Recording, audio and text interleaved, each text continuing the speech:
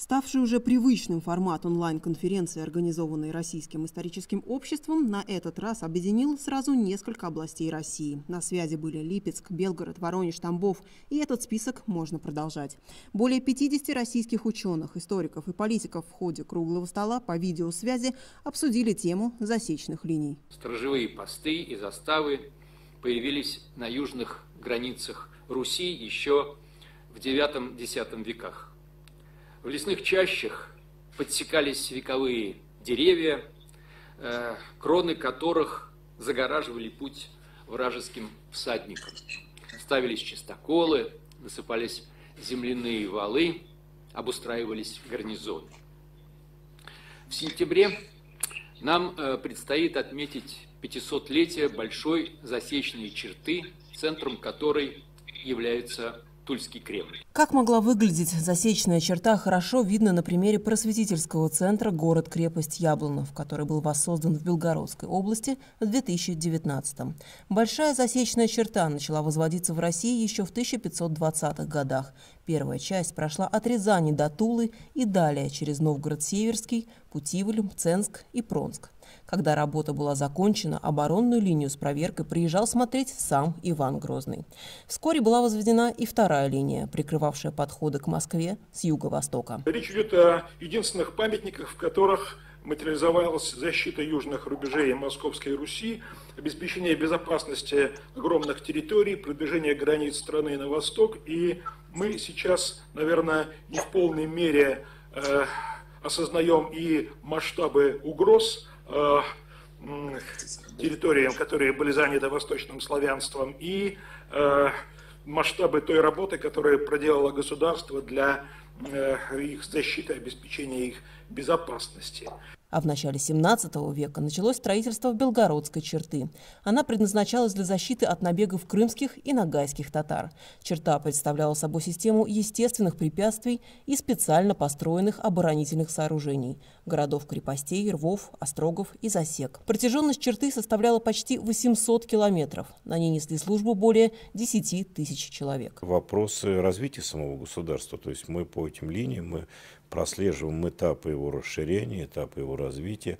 Очень понятно тогда появляются многие термины, такие термины, как термин «Украина», который в понимании русского языка это граница. Это э, определенные шаги политики российского государства. Мы понимаем, каким образом создавались вот эти вот опорные пункты, которые в дальнейшем давали возможность для таких активных действий э, и в, отношении Османской империи, Крымского ханства, освоения территории Крыма. Действительно, последовательное расширение границ сопровождалось возведением все новых и новых засек. Появились Симбирская, Закамская, Исетская и другие черты.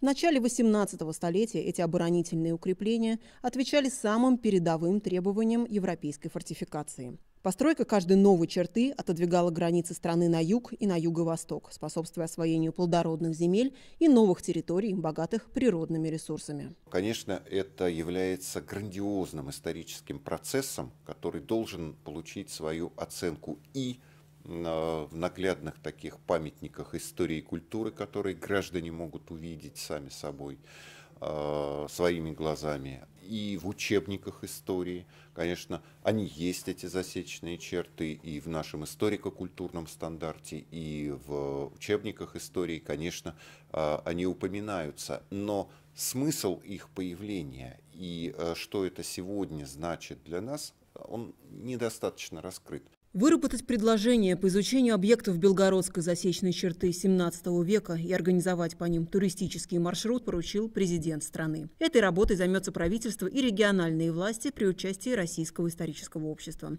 Соответствующее решение было принято на встрече Владимира Путина с общественниками в Усмане, Липецкой области.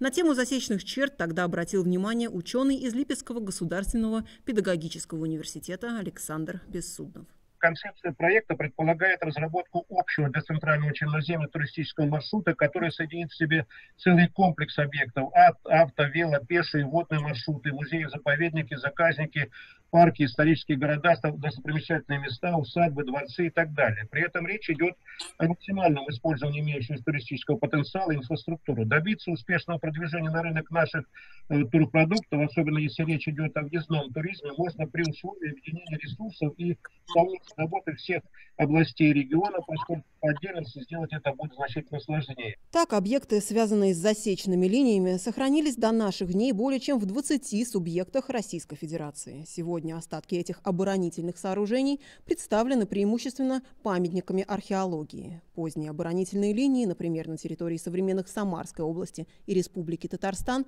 конечно, сохранились лучше. При этом многие объекты по-прежнему не выявлены.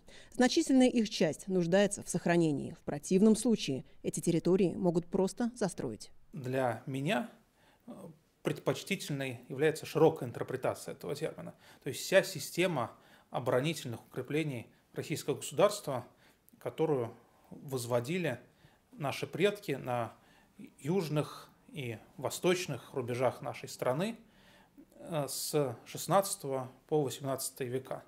Это большое историческое наследие. Это труд десятков, сотен тысяч людей.